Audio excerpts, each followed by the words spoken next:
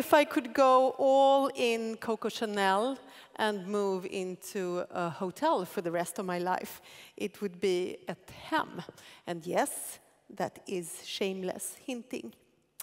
One of the reasons for that is the, is the designer Ilse Crawford. She's the founder of Studio Ilse and of the Department of Man and Well-being at the Design Academy Eindhoven. She says that good design can nudge us to better behavior. And after being in some of the spaces that she has designed, I can only agree. Please welcome Ilse Crawford.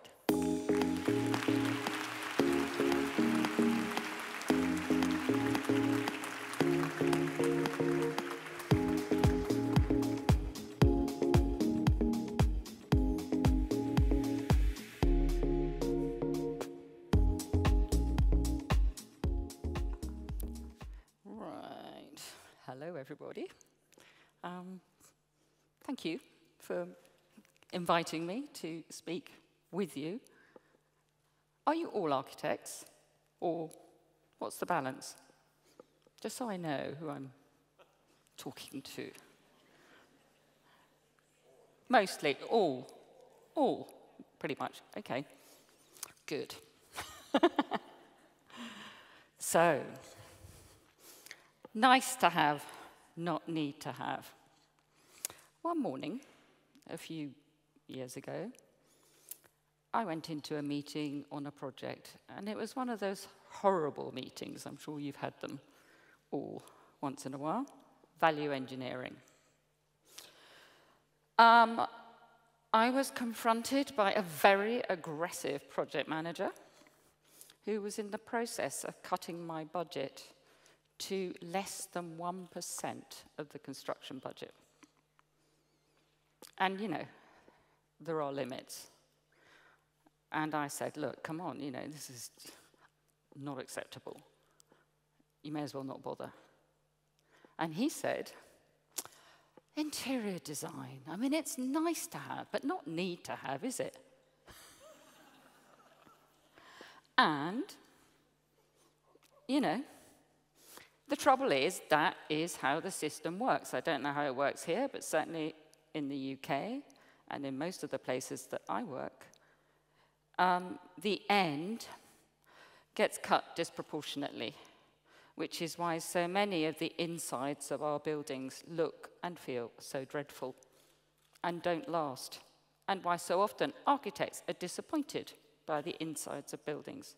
So, just as a reminder, these are some of our scouting shots, the before shots for potential projects. These are the spaces where we live. Financial institutions, soup kitchens, airports, and restaurants.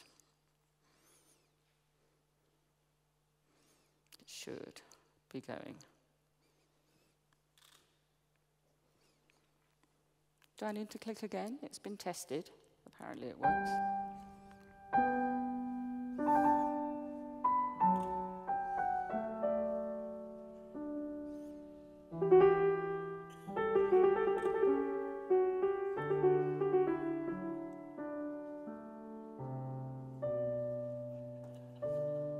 First class lounge Heathrow.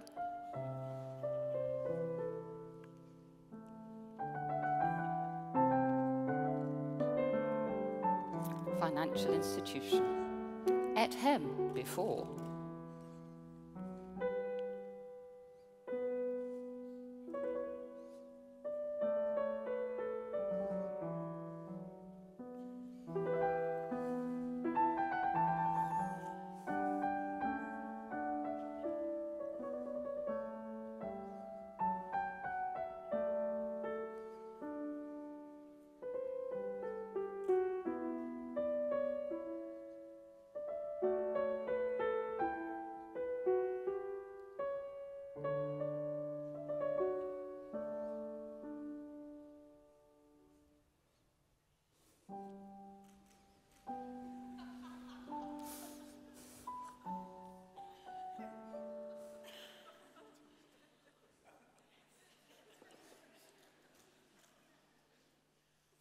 So, all equally dreadful.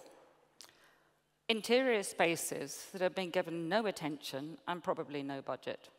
Soulless spaces, careless spaces, spaces without value or values. No wonder we feel so alienated.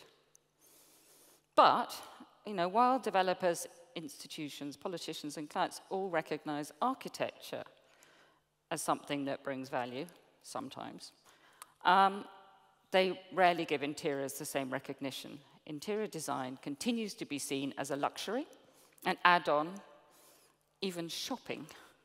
And we rarely get the chance to work as a team with architects from the very beginning. So we end up with the relay problem, and priorities get lost along the way. Fundamentally, I think there's a misunderstanding of what interior design is. There's not enough informed debate about the deeper impact of interiors, how they affect the user, how for commercial clients they often create the business proposition by building a world, um, and how you can basically make better, more long lasting, more adaptable, more sustainable buildings that are better for people if only architects and interior designers work together from the beginning. And it is why events like this are so important to discuss the narrative, to discuss our process. Rethink, reuse, rebuild for sure, but I think we also need to reframe. I'll introduce four projects um, and a couple of products if I have time, and maybe a surprise. Talk to me later if you want to know more about the particular project.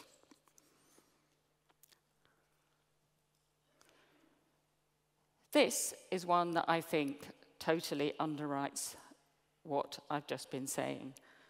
It's a former soup kitchen, now a community centre in Earl's Court. It was a very decent enterprise. It gave lunches to 150 homeless people, vulnerable people, every day. But, you know, you can see what it's like. It's grab and go. But then this guy came along with his wife, Lara Gilmore, Massimo Bottura, and he has an NGO called Food for Soul. And it, in this instance, linked up with Project Felix, a supermarket surplus NGO, us, and sometimes chefs. And the idea was to bring dignity to the table, specifically table service and beauty. And that was our brief. We were given very little money. I had 35,000 for the whole project. But with that brief, you can do something. So we managed to get together people who came behind that brief. Vitra gave us reused chairs from their cafeteria because they constantly changed their identity. Um, Artemide gave us lighting. We got carpets. We got paint, you know, who doesn't want to get behind that idea? And design can get you out of that corner. It was a simple project in a way, but beauty held it together. Details like plants, tabletop, things you touch, the Vitra chairs, meant that that is what happened. It became a frame for people to spend time together to help each other instead of it being this old school, philanthropic, top down, you know, slightly, I have to say, you know, mean, actually. Not intentionally, but not generous. You know, to create that generous circle is powerful. And what was very interesting was that not only did the people who were using the kitchen at lunchtime spend longer together, which meant that they could also do classes, IT, languages, etc. But also, surprisingly, corporates hired it in the evening because they would much prefer to hire that than a hotel hospitality suite. I mean, of course.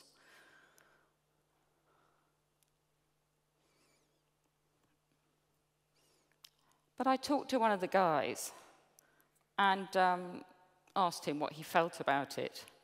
You know, was this something that resonated with him? You know, after all, we came in and kind of took over their space. And he said, You know, the thing about this thing, this place, is that at least it shows that someone cares. So, one reason why we all do what we do. The studio is in Bermondsey, in London, in an old tannery. We're 15 people. I started off as a journalist. I was a journalist for 10 years, which I think has very much shaped my thinking about how to approach spaces. We are a combination of journalists, architects, interior designers, and product designers. We work with strategists and filmmakers along the way. We design the studio so that it can be open to outsiders. So we have suppers, we have lunches where anybody who is around joins, because I'm scared of becoming a bubble. Um, it's really interesting to just bring people in from different ages, different parts of the world. This is our process. It's very messy.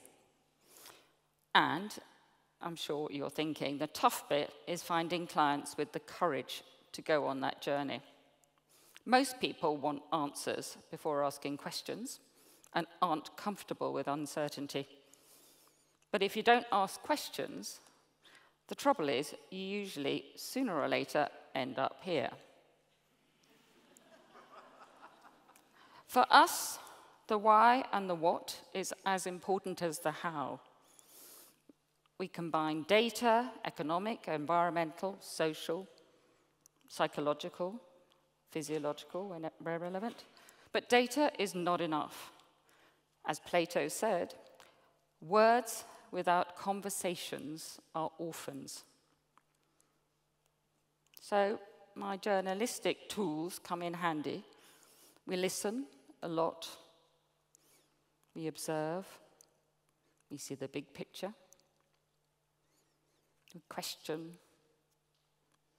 We spend a lot of time, what I call designing minds, understanding why people think the way they think. We step back and imagine, and we communicate a lot. We put a lot of effort into our communication tools. This is also where we integrate architecture, other consultants, to make the total orchestration, where we resolve conflicting briefs and impossible agendas. We learn together. Then is the three o'clock in the morning feeling, um, to quote Aalto, where you take all of that, internalize it, and integrate it with, yeah, our values as a studio, our humanistic values, to come up with a creative solution. We don't have a style. We're more interested in how we can create this sense of place, this evolving sense of place, and bring those unmeasurable values together with the measurables. In fact, we see that as our task to protect those going forward. And then simple things like integrating tiny daily actions, that physicality, bringing people together, the obvious, like making it more healthy in terms of its materiality, and never forgetting that we are part of something much, much bigger.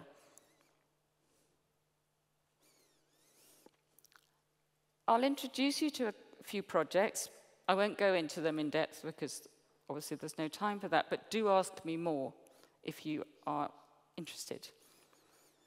This is your local. It was built in 2012. It was actually designed in um, 2008, but it took a long time to get through planning because some of the neighbours were not too happy about it. They're probably more happy now. Um, but yeah, it slowed it down. But it's lasted. And I think one of the reasons it's lasted is we played to the building. It had to have an ongoing story of place. It's such a strong building.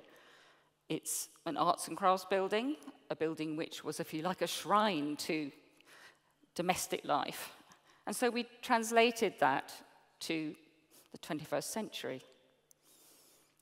It focuses on arts and crafts. I mean, this was what it was like before. It was a student information center. Quite often people say, gosh, it must have been great to find a lovely old building like that. Well, look again. Um, we went back to the plans. We tweaked them a bit, but kept them essentially the same.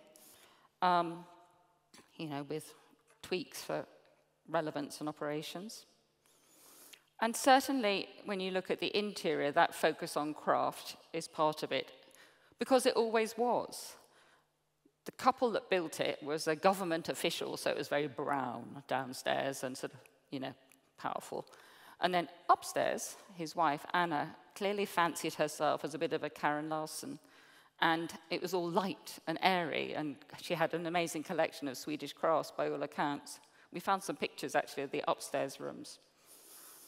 So, the opportunity really was there, how to translate that. The challenge was the footprint, it was tiny. But again, you know, that can also be a good thing.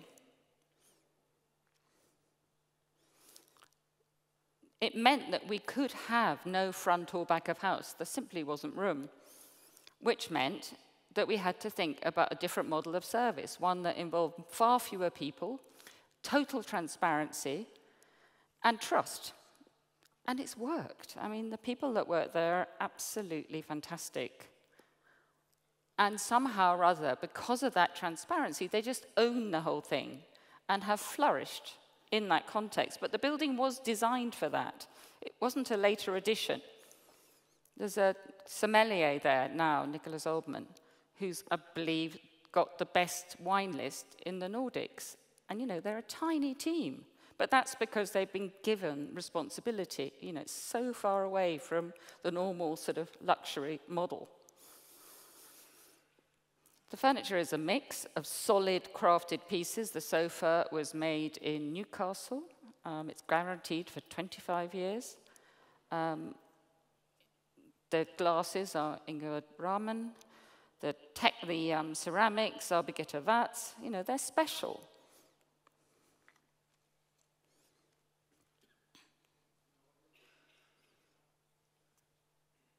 I'm actually going to skip this if I can.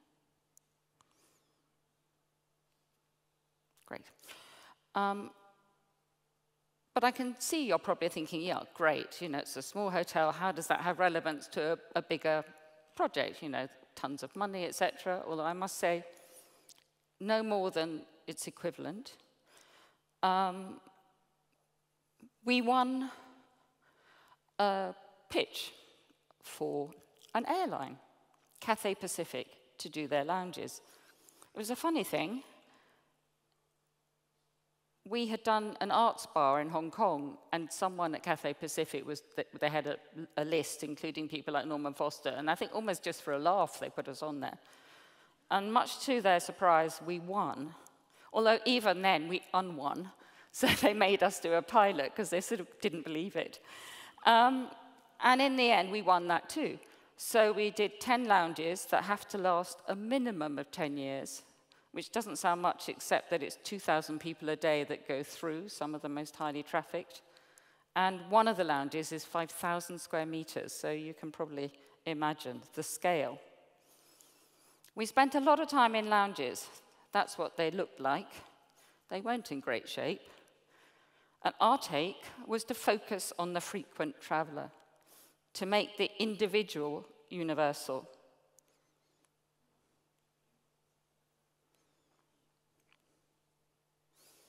We focused all the money on the bits that counted, so the walls. You can't paint in the lounges, there's no time to repair them, and they get very badly dented by wheelies and what have you.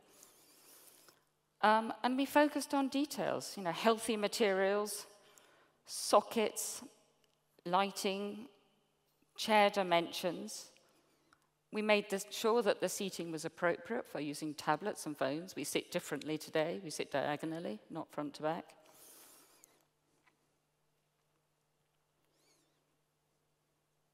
And we looked at the data. We looked at things like food waste and how shocking that was, and had conversations with Cathay, who were reluctant initially to let go of the buffet. Um, but then they realized how much food waste there was. And we said, look, you know, we talked to people.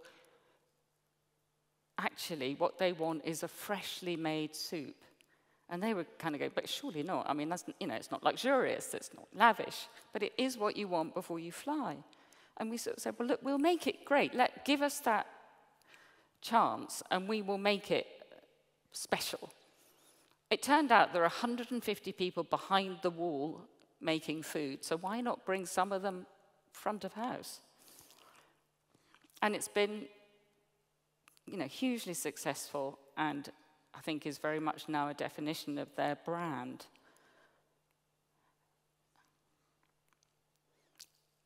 We introduced a tea house because, after all, you don't always want to booze in the air. And a place to sleep because one of the things they said to us initially was no sofas, we don't want people to sleep, it looks hideous. But, you know, that's not easy for the staff to drag very tired people off sofas and not kind, you know. I think people are knackered. So we figured out a space at the rear of the lounge, quite a generous space where people can take a nap.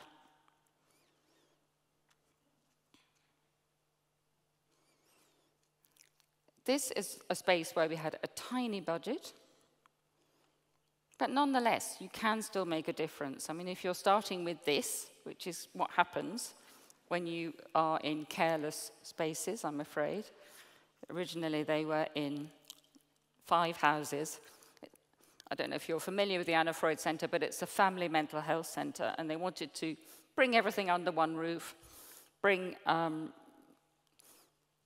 family therapy, education, masters, a school for kids, teenagers with behavioral issues, all under one roof. So, you know, the five houses had to go. But it was tough. Um, 3,200 square meters.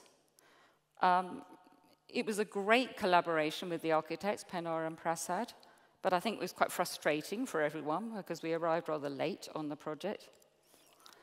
Um, and a lot of stakeholders. You know, it's not so easy working with a lot of highly intelligent, highly sensitive individuals. I mean, a room full of therapists is not so easy.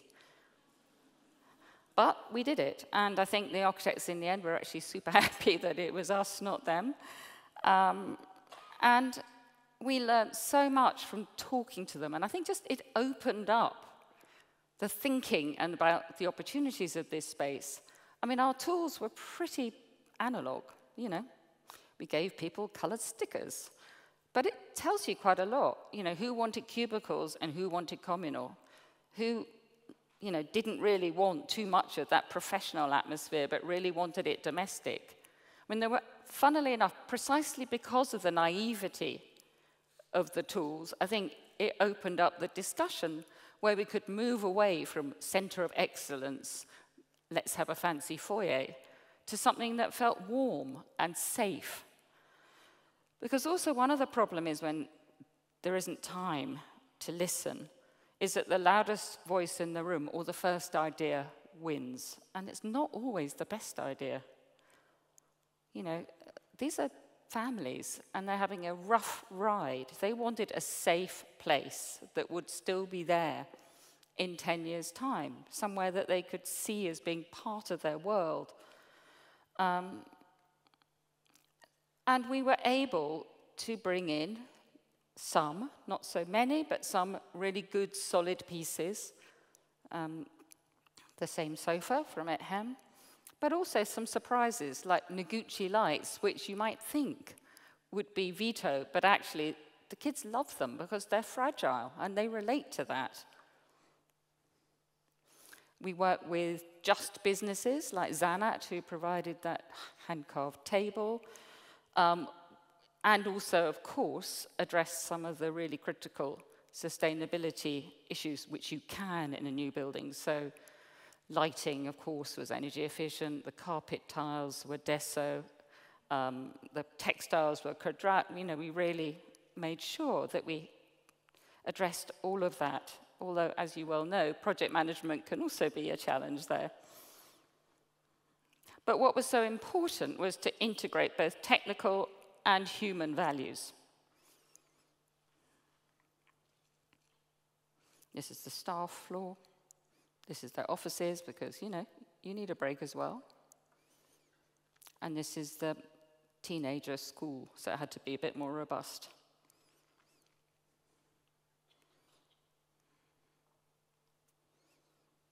So, yeah, if you look at the sort of list, the classic list of the things that one hopes to integrate into a new building and a new interior, I think we did pretty well. Um, we could always do better, but I think that integration of us with the architects was fantastic. And you know, we're both really happy to have had the chance to work together. We also work on products. I mean, it's easier, of course, when it's a singular object and you don't have so many people involved. That's always challenging on a business. Um, we work with the local lighting company Wästberg. It's our second collaboration. And have been able with them to make a light that's high energy efficiency, but also has the possibility to replace the LED because technology changes in front of your eyes. Um, and it's beautiful. And I think that is where design and sustainability and collaboration can come together to make things better, measurably and unmeasurably better. It's in aluminium and polished copper, as well as the white. But of course, the technical things are not the only important things here. Um, you know, the humanity of the system is also really important. For proper sustainability, you have to look beyond the things we know. And we worked with a textile company based in Barcelona on a range that was made in India, Nepal, and um, Pakistan. And that was pretty interesting because, you know, it's not visible, but we know that working conditions are not what they could be. Nani's great. I mean, she has extremely high standards, which is why we worked with her. We knew we could achieve what we tried to achieve. And we did a range of a hammock, a, several rugs, cushions, etc. But first of all, we asked the producers what would make the most difference to them. And they said local fiber, hand spun, because obviously that's work, no bleach and no dye for the environment, but also for them because they get horrific um, skin diseases, dermatitis and so on, because of the chemicals that they usually have to work with. And so that meant we had to work backwards. We got samples from them and we figured out what we could do within those very tight constraints. But I think we found something beautiful as a result. And I think this is one way that we have to work going forward. We have to go right back to the source and understand what will make things better for them instead of telling them what to do.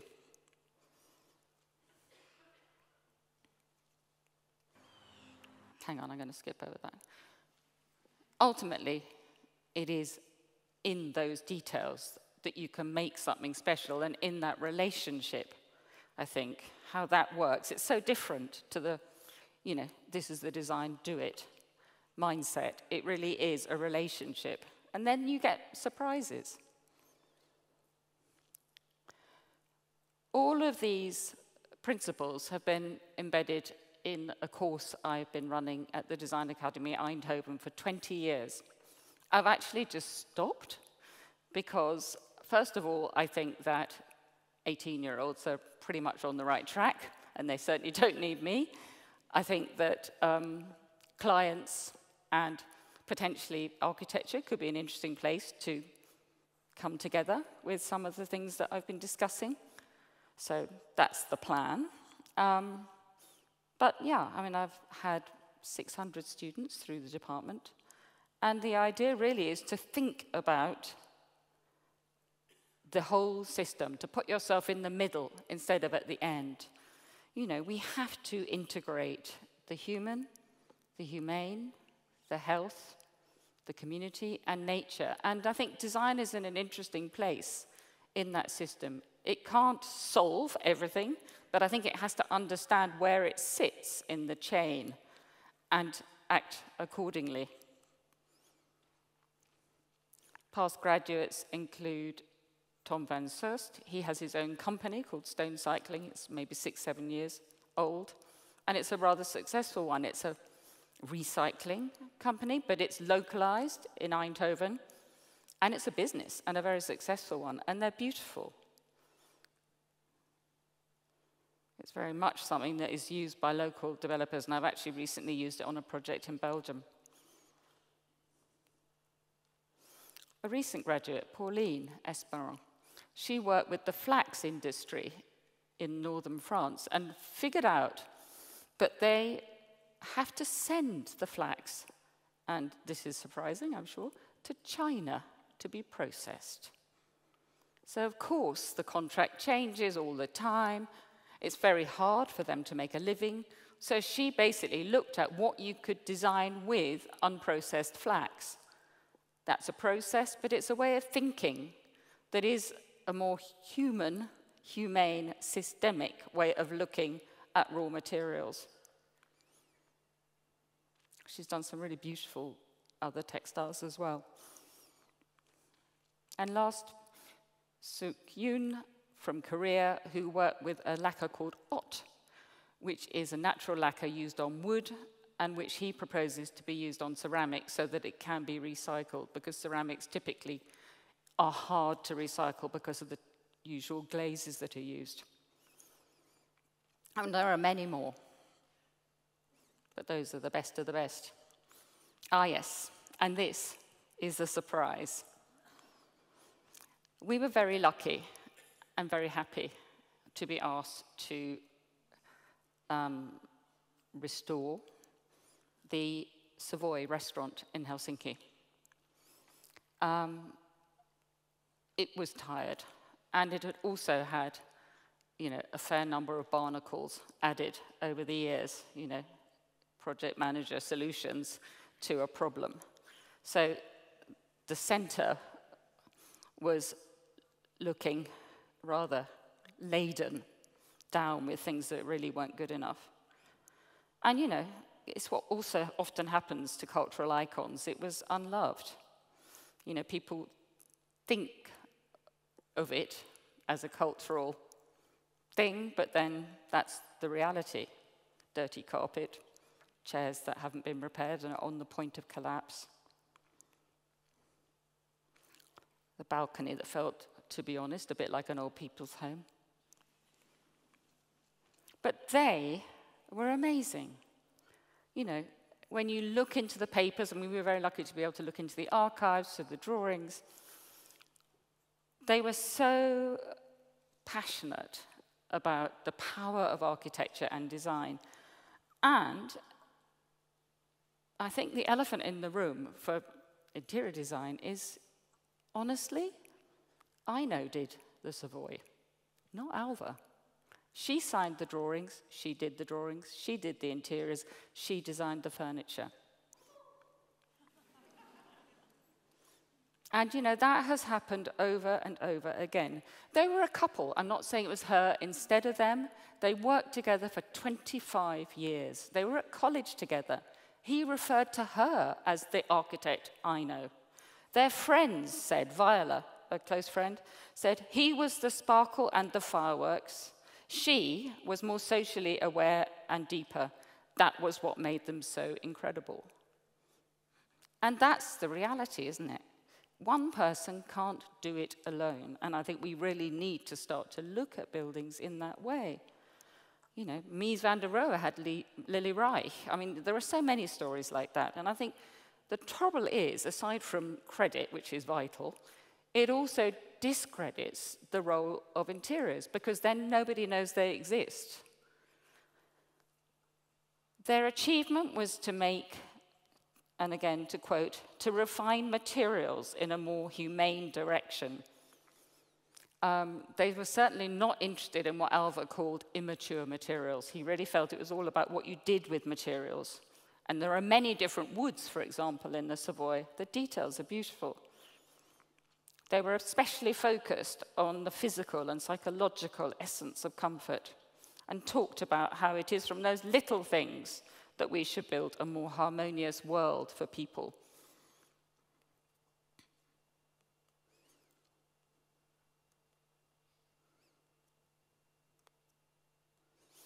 So, my final slide is that those so called soft values are what are crucial today. We still measure everything except for that that is worthwhile, to quote Kennedy. In the push for a more sustainable future, I think it's really important to remember that places that are loved are livable and they last. Thank you.